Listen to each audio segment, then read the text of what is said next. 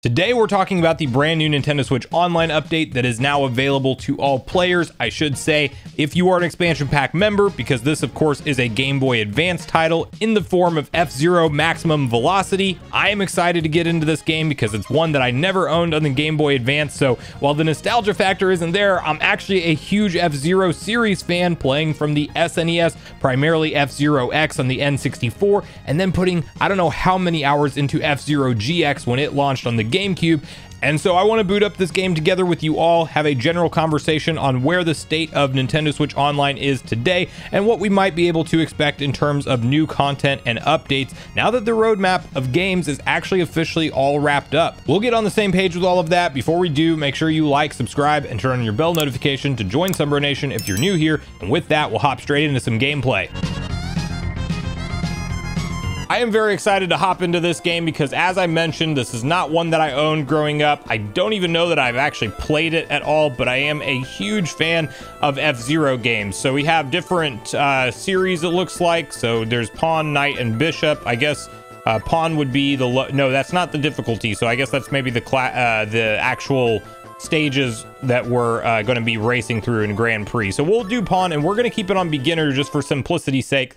Uh, F Zero, if you guys don't know, is a historically a very challenging franchise. I mean, in terms of being able to just come in first on every single race, you really almost have to have the stages memorized because what they do very well is make you legitimately feel like you're actually going fast, and so you really have to kind of memorize the the stage curves and things like that. Of course, on these earlier stages, uh, being like the pawn that we selected, um, I'm, ex I'm expecting the stages not to be too crazy, but um, the the one thing that the game always excels at, regardless of what system it's on uh, and which F-Zero game it is, is that it always makes you feel like you're going incredibly fast, and that is uh, no different here. So uh, I'm excited to check out these stages, you know, go through a different, a uh, few different Grand Prix. Uh, I'm sure for people who have nostalgia for this game will absolutely love it. But if you love F-Zero games, if you know what this franchise has to offer, you kind of know um, what to expect here. And I'm going to see if I can figure out how to use my boost uh, there's only a few different buttons on Game Boy Advance, so you wouldn't think it'd be that hard.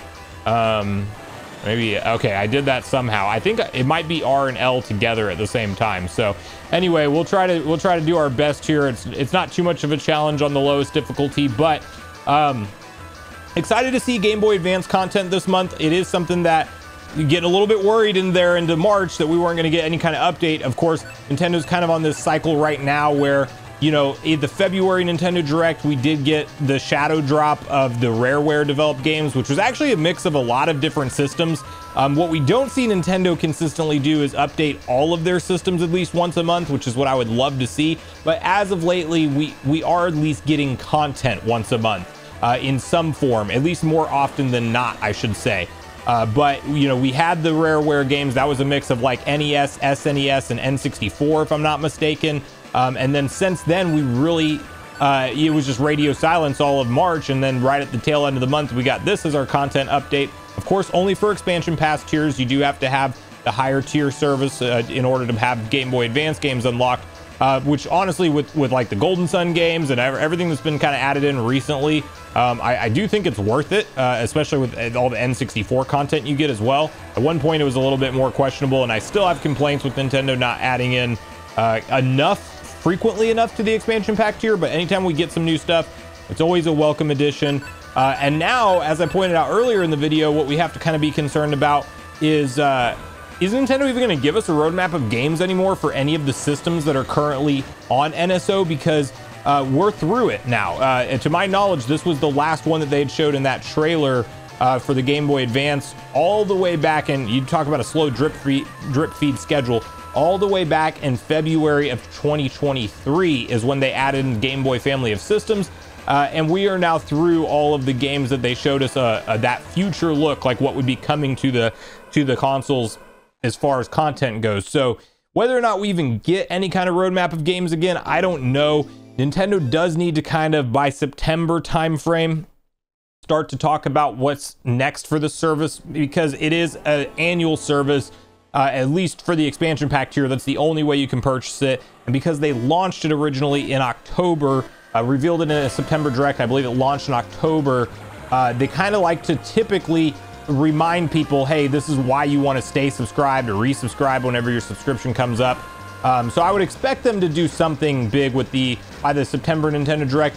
If the rumors are true about the April Direct, which the source on that um, has actually said, I feel like the stage is so much more slippery than the other one for some reason. But um, anyway, the source that reported that there would be an April Direct is now doubling down on that, saying that everything that they've heard, um, they're still expecting a, a, direct presentation to take place in April. Um, so that's exciting. Will will we get an NSO update there, and then maybe a, another roadmap of games?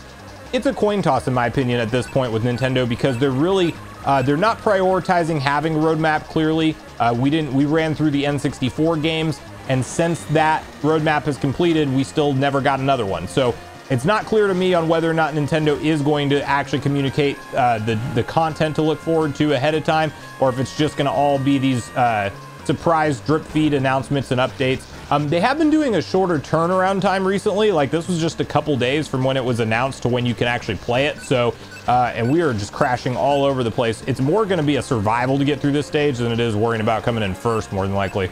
We'll get some of our power back here. Um, it's one thing you have to worry about F-Zero games is always taking too much damage will definitely do you in. Um, so we're not going to worry about maybe coming in first. We're just going to try to survive this thing. Uh, but I will say that in terms of content, uh, you know, it's going to be an interesting time. You know, it's pretty clear at this point that the Nintendo Switch, being over seven years old, kind of in its wind down phase, you know, and I, the April Direct could change that, but there is definitely less going on with this system than there probably ever has been in history. And we do have some banger games to look forward to. Ports and remasters, mind you. Um, Luigi's Mansion 2 HD, $60 in June. Uh, I wish it wasn't a $60 game. I think that should be a little bit less cost. 40 bucks would feel like a much better value, uh, like Metroid Prime Remastered, but uh, that's neither here nor there. If Luigi's Mansion fans will get it, I'll probably get it just to talk about it um, and play it myself, but uh, you know, you, you do have some some of the some hard sell uh, on on you know the price point on that one. Princess Peach Showtime was technically the only new content, like not a port or remaster or remake that Nintendo has put out this year. Um, and then we have really like as, as I mentioned, we're through the announced content for NSO as well. So I guess the if you want to be super optimistic about it, the exciting part is is that we don't know what's around the corner because truly everything has been taken care of at this point. Um, but at the same time, it very much feels like it could be a slow year for Nintendo. Now, Paper Mario: The Thousand Year Door, that's going to be an exciting one to come out in terms of their games roadmap. That is a classic game and uh, arguably the best Paper Mario period. And so, you know, there's it, and they, it feels like they've done a lot to the visuals in that game. If you've looked at it, I'm curious to see if there will be new content included in there. But uh, all of that said, I think 2024 would be a great year to actually see Nintendo lean into Nintendo Switch Online content more. Um, I think that that would, you know, really be a key right now because, oh, I guess we have to actually finish in order to continue in the Grand Prix. Yeah, and then it just straight up takes you out. So we'll like briefly check out a different uh, a different course, and let's just go ahead and hop into Bishop real quick. Um, just as I finish up my thoughts here on NSO, but you know, if this was the year that they wanted to double down on all of the N64 games, like Give us Donkey Kong 64, Super Smash Bros 64 with online play. Think about how much fun that would be. Um, you know, there there's a lot that they could really do in terms of uh, Diddy Kong Racing. Uh, you know, any of the rare games that are on N64, they should all be there in my opinion. Um, you know, there there's a ton of stuff that they could really lean into. Uh, and Game Boy Advance is still, you know, has has a lot of content that could come over.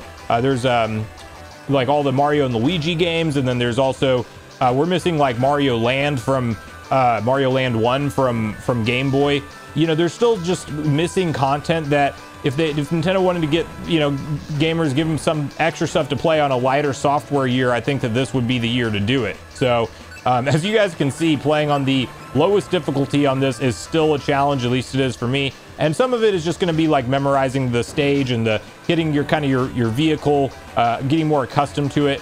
Uh, definitely, I would say mechanically, from my first impressions on this game compared to uh, like F-Zero X or F-Zero GX, which is what I've played the most of my time in in the franchise, um, you're it, it, it, doesn't feel as advanced as the controls on those. I mean, you definitely feel like you're sliding all over the place a little bit more with just the analog, as you'd expect from uh, older racing games. So this one's a cool one, though. I'm excited to check out more of it. I want to hear from you guys at this point in the video how you're feeling about Nintendo Switch Online at this point in time. Now that we're through the content, uh, updated roadmap? Like, what do you think is next for this service? Do you think we get another roadmap and that's kind of how Nintendo chooses to communicate uh, some future updates with us to tease what's coming? Or do you think that they maybe just continue this kind of announcement cycle where we don't know what's coming and it's just one game at a time and we have no clue until they're actually ready to pull the trigger and put it on the service? So, regardless of your thoughts and feelings on everything we talked about today, do look forward to hearing from you all in the comments down below before you leave the video, as I do look forward to getting a back and forth conversation started with you all around this topic. Go watch the video on screen next if you haven't already. Also, make sure you like, subscribe, turn on your notification bell, and I will see you guys in the next video.